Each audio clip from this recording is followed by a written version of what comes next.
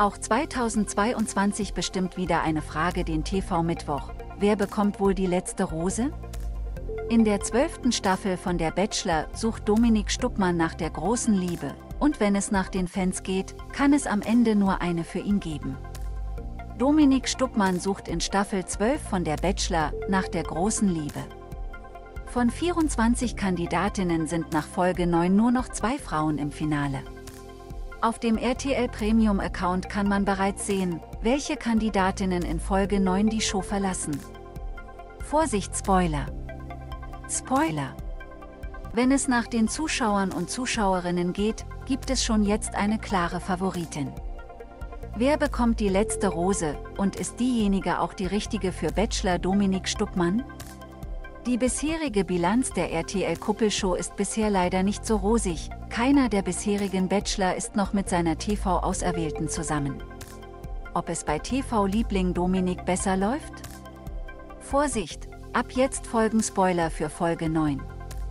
Leser sind einig, sie wird die Gewinnerin sein und die letzte Rose vom Bachelor bekommen. Die Promi-Boom-Leser und Leserinnen haben fleißig abgestimmt, welche Kandidatinnen von der Bachelor haben die besten Chancen auf die letzte Rose? Die unangefochtene Nummer 1. Anna, Angestellte im öffentlichen Dienst aus Hamburg. 70 Prozent, die abgestimmt haben, rechnen Anna Chancen auf die letzte Rose aus. Nach vier Jahren soll das Single-Dasein für Anna endlich ein Ende haben. Nach drei gescheiterten Beziehungen will sie sich in Mexiko in das Abenteuer ihres Lebens stürzen und ist bereit für Mr. White. Ob das im Fernsehen gelingt? Anna RTL. Achtung! Es gibt auch schon einen richtig dicken Spoiler zu GNTM 2022, denn für Fans steht schon fest, welche Kandidatinnen ins Finale kommen.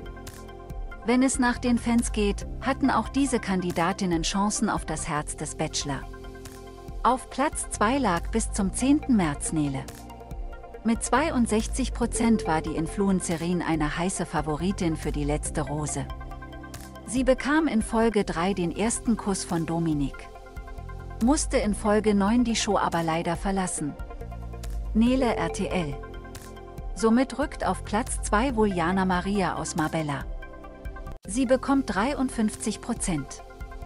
Schon als die Unternehmerin in Folge 1 aus der Limousine stieg, konnte Dominik seine Begeisterung nicht verbergen. In der Woche drauf bekam die selbstbewusste Wahlspanierin nicht nur das erste Einzeldate, sondern nach einem Fallschirmsprung und gemeinsamen Stunden im Pool auch die allererste Rose der Folge, und das noch vor der offiziellen Rosenvergabe. Sie und Anna stehen also im Finale und es wird spannend, für wen sich der Bachelor entscheiden wird.